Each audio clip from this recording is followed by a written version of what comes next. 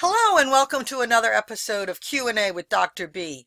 Today's episode, we're going to learn how to create this love cutout that looks like this right here in CorelDraw SE.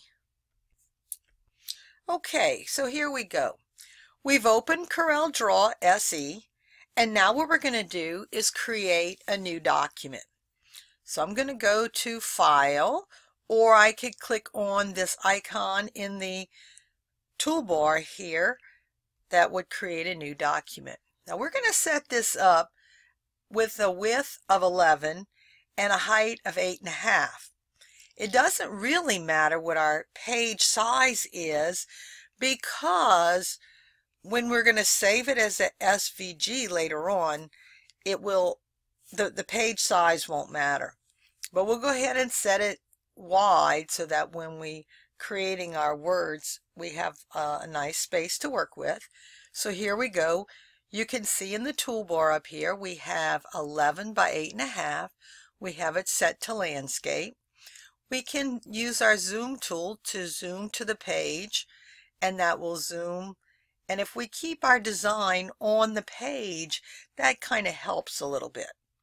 So now what we're going to do is write our letters.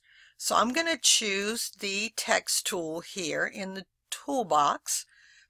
And then I'm going to click on my page. If you don't click on your page first and get this cursor, then when you make changes in the properties bar up here, then you have some problems a little bit. So I am going to choose the impact font because it's a nice wide bold font and it's good for our um, situation here when we're going to write the word love. And then I'm going to also choose a hundred point for the font so it's nice and big to get started. Then I'm going to type the word love with cap all caps L-O-V-E and then there we have it. You'll notice over here in the Object Manager where it says Artistic Text. That means we just created an object that is an artistic text object. Now I'm going to click on the pick tool up here and we'll see that our object is selected and we have it selected here. The next step we're going to do is convert this to a curve. So I'm going to go to Object, and then you'll see Convert to Curves. And what that will do is it will no longer be an artistic text object, it will be curves. And so you'll see up here in the Object Manager, it converted it to curves. And now if we click on this second tool here, the Shape tool, you'll notice all the nodes along it. So I'm going to go back to the pick tool. And now what I'm going to do is I'm going to grab the corner here. We want to make sure our object is locked um, as far as the aspect ratio there. And I'm going to just stretch it until it fills my whole sheet of paper. There we go. So now we have it nice and big. What we want to do is we have one big curve here. We want to break it apart so all the letters are a separate curve. So while it is selected, I'm going to go to Objects again, and then I'm going to find Break Curve Apart. And then when I do that, you'll notice over here in the Object Manager, a series of a bunch of curves, not just one curve. And if I click on the individual curve, you'll notice now the L is selected, then if I click on this one, the O is selected and so on. And so while I have the O selected, I'm going to hit delete on my keyboard and notice I still have this little sliver because what it did when it broke the letters apart into individual curves, the center of the O became a curve by itself.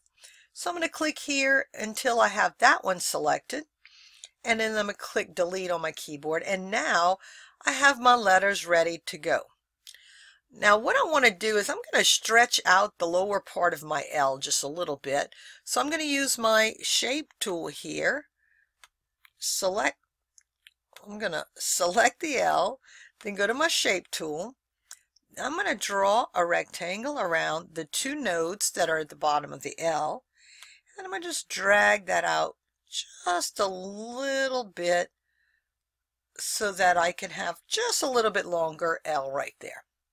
And now you can see this L kind of matches the E a little better.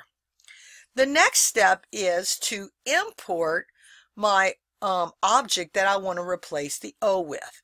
And I'm going to choose the um, an apple to put in here just so it matches the one that we started with.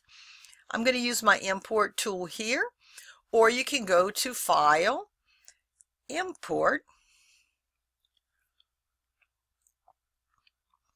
then I'm going to select the Apple SVG click import and then place it on these page where I want it.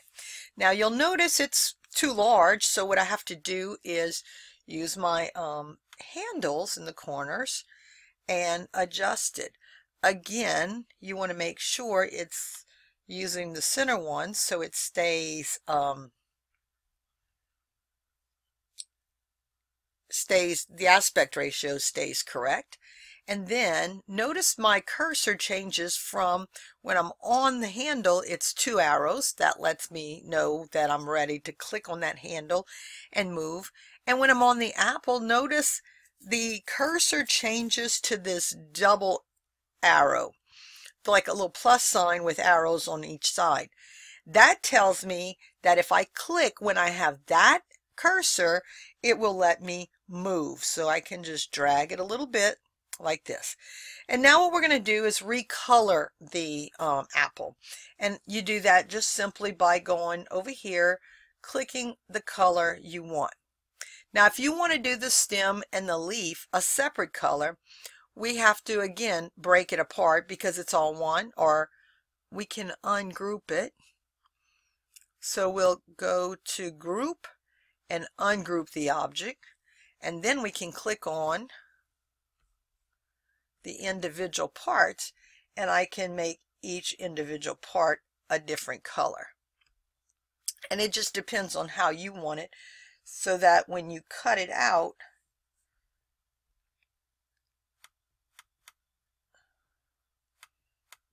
you can cut out different colors in your um, silhouette or Cricut. So there we have it now. We have it different colors. So now what I need to do is export this as an SVG so that I can bring it into my Cricut or Silhouette software. So I'll simply use my export tool on my toolbar here, or I can go to File, Export,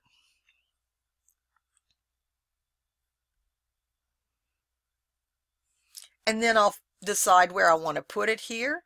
Down here, I'm going to call this my Love Apple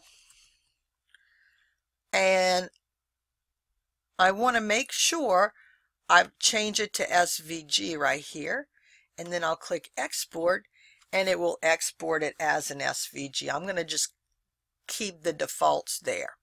I also want to save it as an CDR file so that I can come back and um, make edits later on. So I'm going to do a save as, make sure I'm in the folder where I want to save it. I'm going to call this my love apple and I'm going to call it 2 because I've already had one in there. Click save and now notice at the top it tells me the path. It tells me exactly where it is saved and the file name of this particular image that we're working on. That's it. I hope you enjoyed making this object and this image so that you can use it in your cutting machine.